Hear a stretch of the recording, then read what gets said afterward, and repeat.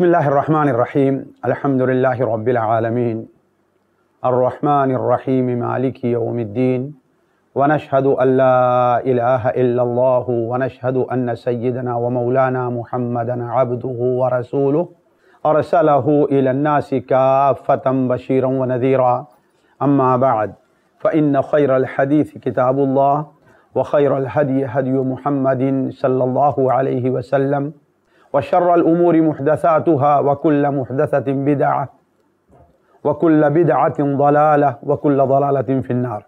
سبحانك لا علم لنا إلا ما علمتنا إنك أنت العليم الحكيم. رب اشرح لي صدري ويسر لي أمري. واحلل عقدة من لساني يفقه قولي. واحلل عقدة من لساني يفقه قولي.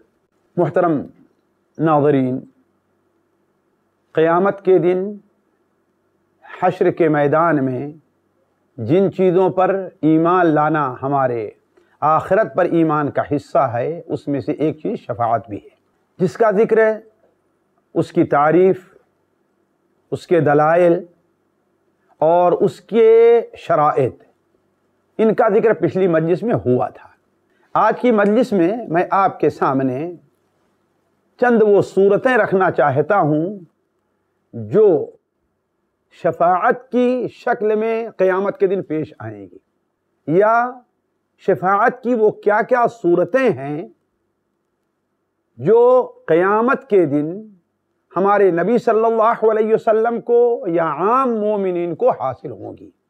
دیکھیے، بعض شفاعتیں تو ایسی ہیں جو ہمارے نبی صلی اللہ علیہ وسلم کے ساتھ خاص ہیں۔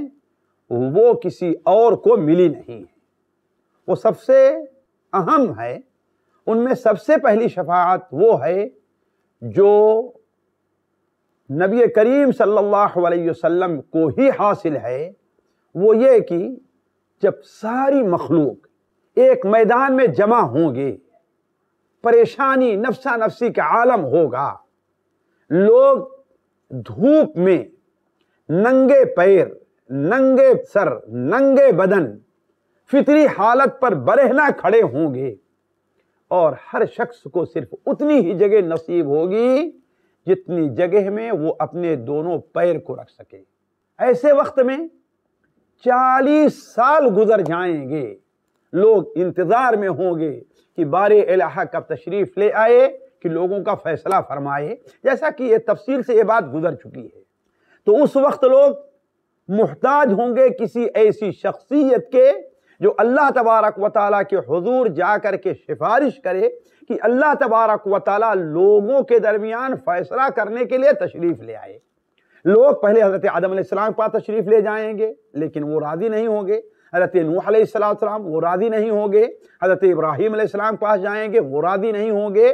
حتیٰ کہ آخر میں چلتے چلتے حضرت موسیٰ اور عیسیٰ علیہ والسلام کے بعد ہمارے پیارے نبی صلی اللہ علیہ وسلم کے پاس پہنچیں گے اور آپ راضی ہوں گے اور جب جا کر کے آپ سفارش کریں گے تو اللہ تعالیٰ آپ کی سفارش قبول کرے گا۔ دوسری سفارش جو آپ کے ساتھ خاص ہے اور کسی نبی کو ملنے والی نہیں ہے، وہ یہ کہ جب آپ صلی اللہ علیہ وسلم اپنی امت کو لے کر کے پلسرات کے قریب پہنچیں گے۔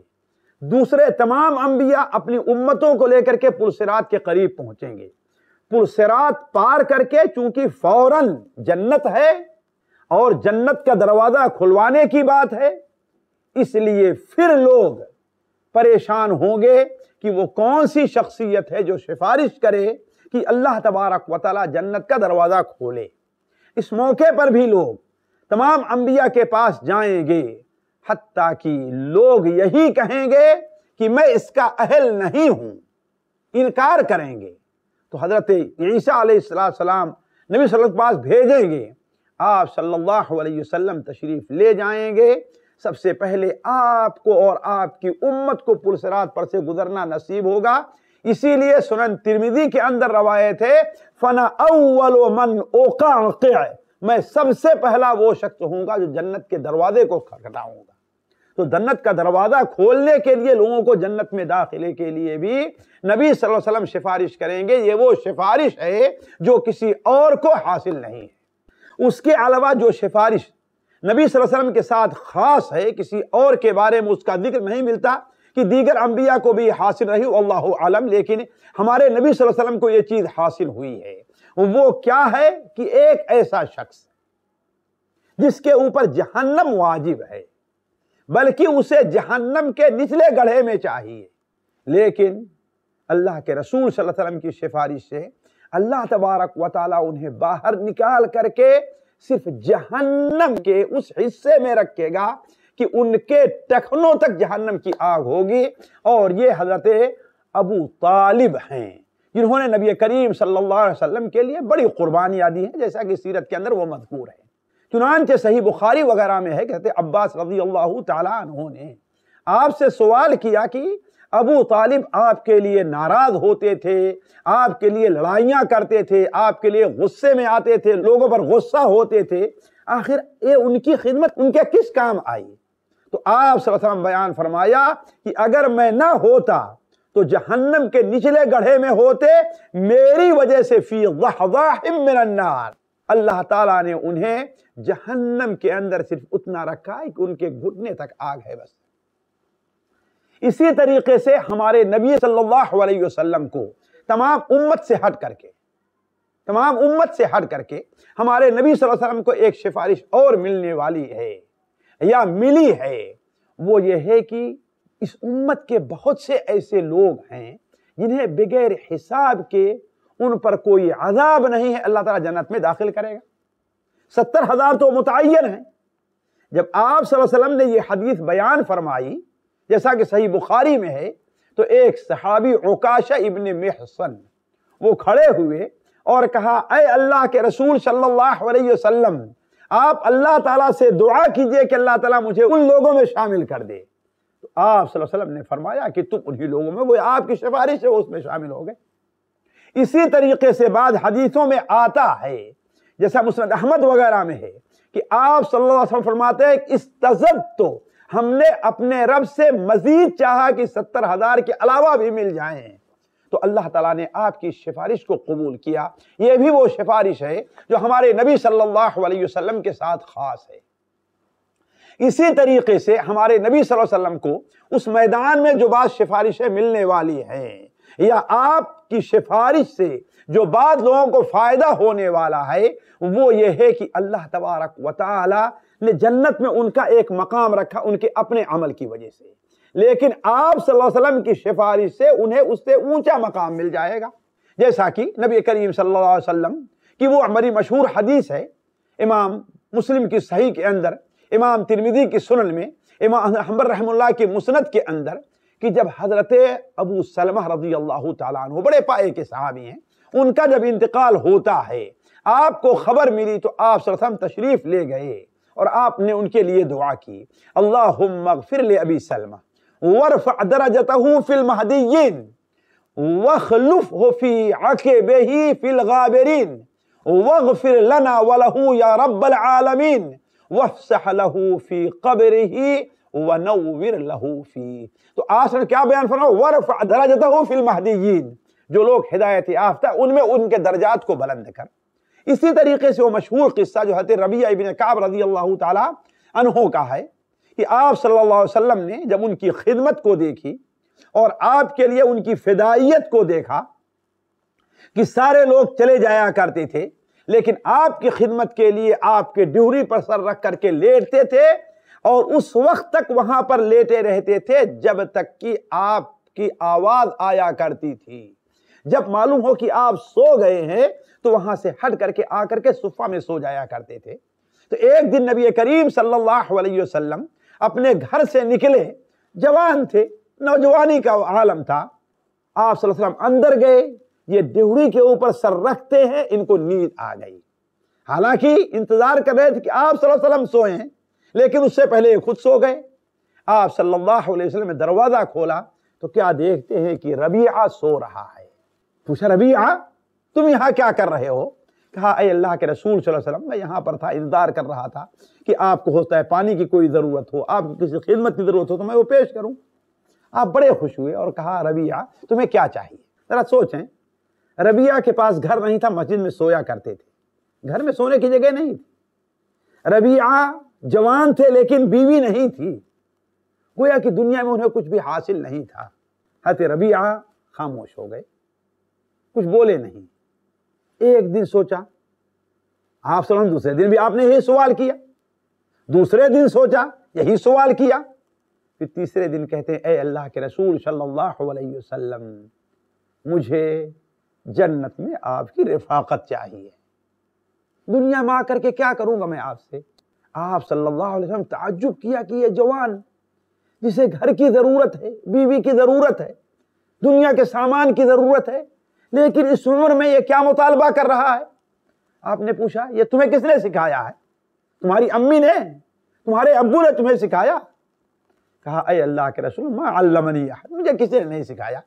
لیکن ہم نے سوچا دنیا کی جو چیز بھی میں مانگوں گا، وہ تو ختم ہو جائے گی۔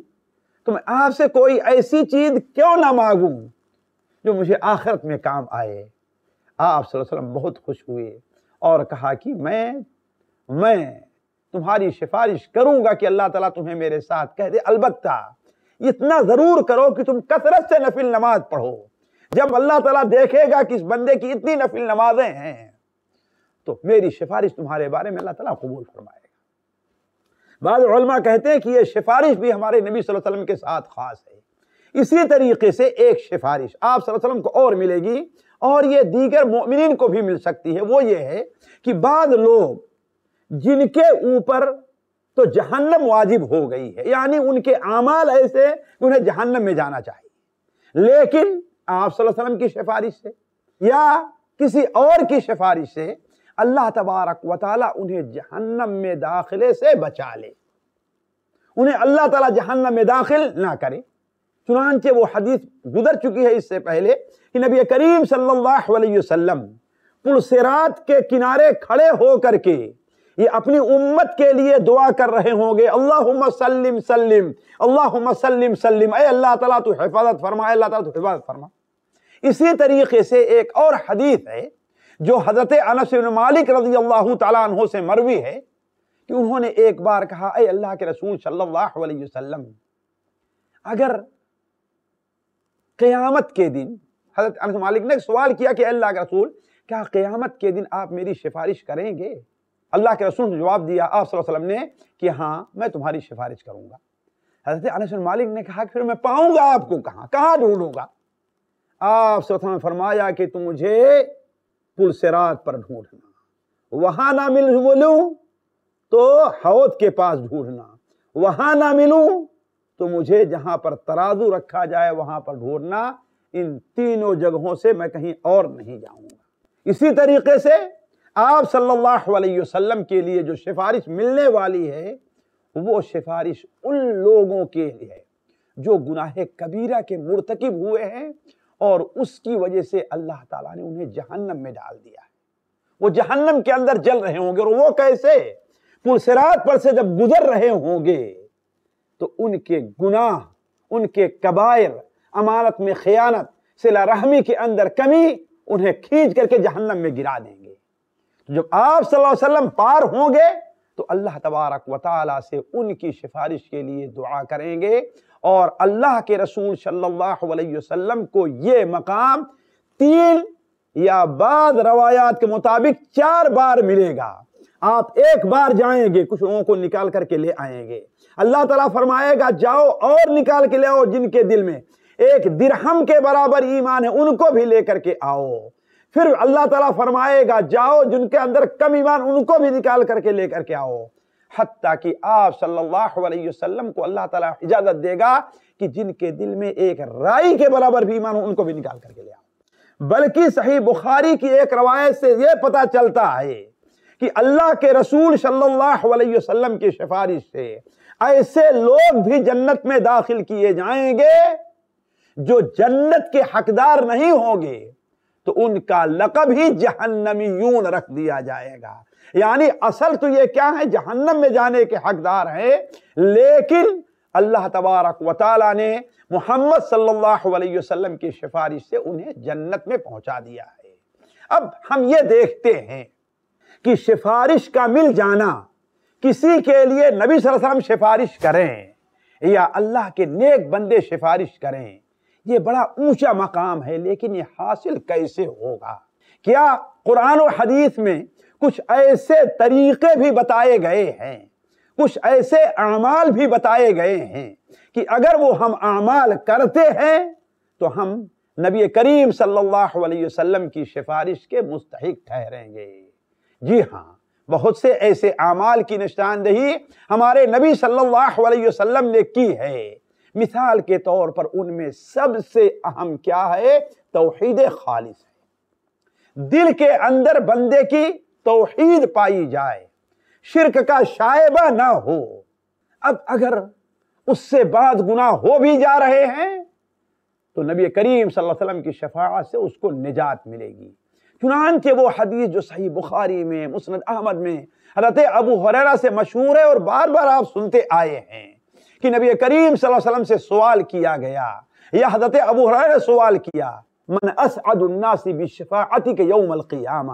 اے اللہ کے رسول صلی اللہ علیہ وسلم، وہ کون سا خوش نصیب ہے؟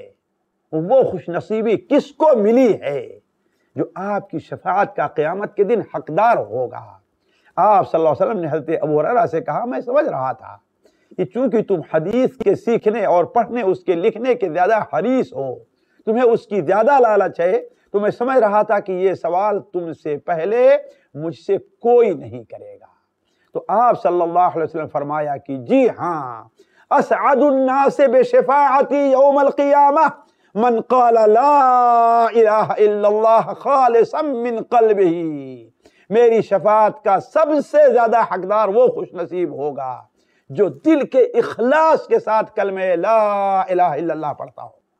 حتیٰ کہ اگر کوئی شخص اس کلمے کے پڑھنے کے ساتھ ساتھ اس سے گناہ بھی ہو جائیں کبائر کا بھی وہ مرتکب ہو جائے، اگر کسی وجہ سے اللہ اسے جہنم میں بھی ڈال دے، تو اللہ تبارک و تعالی نبی صلی اللہ علیہ وسلم کی سفارش سے اسے باہر کرے گا۔